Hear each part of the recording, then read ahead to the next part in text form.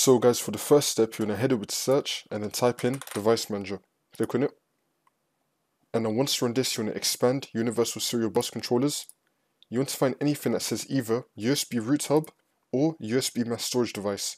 You want to repeat what I'm going to show you right now for every single USB that comes up. That's called USB root hub or USB mass storage device.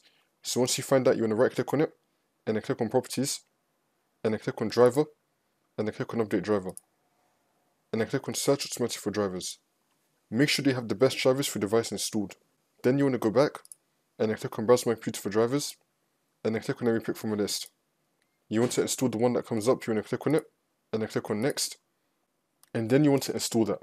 And then once you've installed that, you're going to click on close and now you're going to click on the power management tab. You want to untick this first option right here, you want to untick this and then click on close. And now you want to repeat that for everything that says either USB root hub or USB mass storage device. Then you just want to restart your computer and then the problem should be fixed.